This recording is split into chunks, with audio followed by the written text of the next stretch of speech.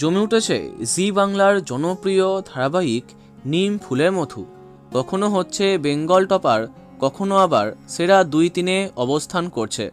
আর সম্প্রতি যেভাবে একের পর এক চমক আসছে, তাতে আগামী দিনে আরও বাড়বে এ টিআরপি রুচিরার মৃত্যু রহস্যের পরে নতুন ট্র্যাকের দিকে এগিয়ে যাচ্ছে নিম ফুলের মধু।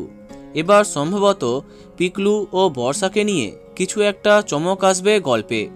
ইতিমধ্যে ধারাবাহিকে প্রবেশ করছে নতুন নায়ক। নিম ফুলের মধু ধারাবাহিকে আসছেন স্টার জলসার জনপ্রিয় প্রধান নায়ক। সম্ভবত এই প্রথমবার জি বাংলাতে তাকে দেখবে দর্শক। আমরা কথা বলছি জনপ্রিয় টেলি অভিনেতা দেবজ্যোতি রায়চৌধুরী সম্পর্কে। শেষবার ফেলনা এবং বৌমা এক ঘরে তাকে নায়ক চরিত্রে দেখা যায়।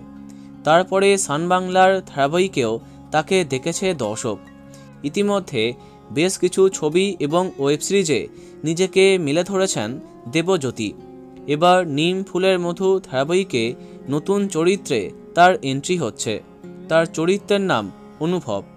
সম্ভবত সে একজন ফটোগ্রাফার দেখা যাক কেমন হয় চরিত্রটা। পজিটিভ নাকি নেগেটিভ অনেকে বলছে এটা হয়তো বেশি দিনের চরিত্র নয়, কিন্তু সে যাই হোক। তার আগমনে নিঃসন্দেহে আরও বাড়বে ধারাবাহিকের টিআরপি তো বন্ধুরা, এখন তোমার কি মন্তব্য কমেন্টে জানাতে পারো। ভিডিওটি লাইক এবং শেয়ার করো।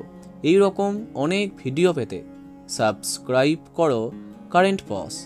ধন্যবাদ।